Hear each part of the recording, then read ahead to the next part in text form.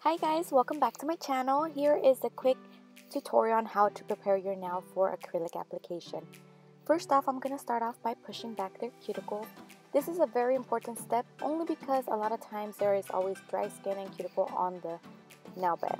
And this also prevents a lot of lifting. As you can see right here, I'm showing you guys close up on what I'm removing. It's a lot of dead skin that's on the natural nail plate. Sometimes you can't really see it. A lot of people don't have it. Most people do. And the way you're, you're going to find out is by pushing back their cuticle. And it's just so you can have a basic, basically a really, really nice surface, clear and free of anything. I can use the other end of the cuticle pusher as well to remove it. Then I'm using an extra fine grit sanding band at low speed to remove the natural nail shine. The reason to remove the shine is so that the acrylic can have something to adhere to. Instead of having a soft and smooth surface, because sometimes the nail bed could be oily and very moisturized, so this will actually make it a little rough and dry. And like always, very carefully and gently. I'm not putting any pressure, I'm just roughening up the surface very, very lightly. I start off by the cuticle area and then I go super fast but carefully around and on top of the nail bed. And if the client's nail is super super thin, I do recommend you to buff it, just not to a soft or smooth surface, just like roughing it up a little bit. That's how it's gonna look afterwards. So before I do apply any tips or whatever, in case sometimes I do do the coffin shape, I do kind of narrow down her natural nail only because when it comes to applying a tip or the forms, I don't want to file that underneath it once I apply the acrylic, so it's just preparing it for that. And also you can just shape it. And I'm cleaning everything off with Swipe. This is actually a dehydrator and a cleanser as well. I'm going to be using these tips.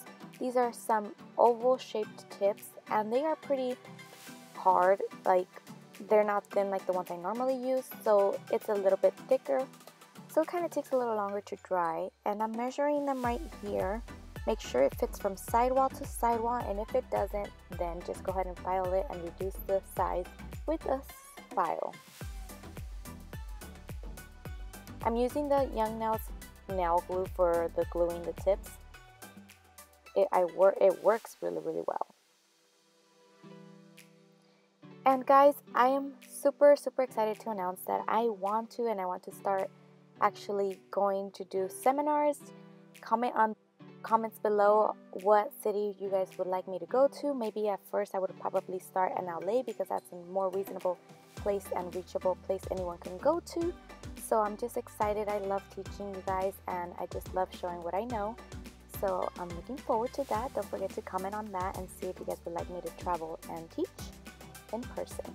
Then I went ahead and cut the tips and this is basically another tip on instead of using and forming the coffin shape with your scissors, you can use oval shapes and then just cut off the tip. And it creates a more easier and narrow look. There's a lot of ways to create a coffin shape nail. And preparation of the nail is so important. It's really, really important because that's basically the foundation of the nail. If you don't properly do it, then it's not going to last. Then I'm going to also file the shine off of the tip because I just like everything to be well and even and then also blending the tip.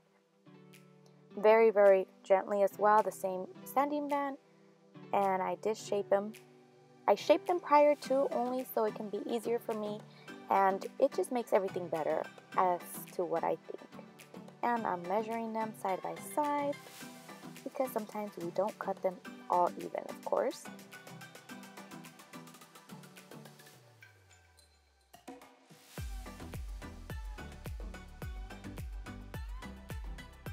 And after all of these are all done and ready to go, I just clean them again with Swipe and that is ready for Bond-Aid, which is a pH balancing agent which balances the pH and the natural nail out of oils and Then I'm applying Protein Bond, which is a primer, and this is applied twice.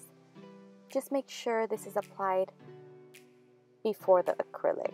If you're really, really not going to apply acrylic yet, I would suggest you to wait. But if you are, then go ahead and apply it.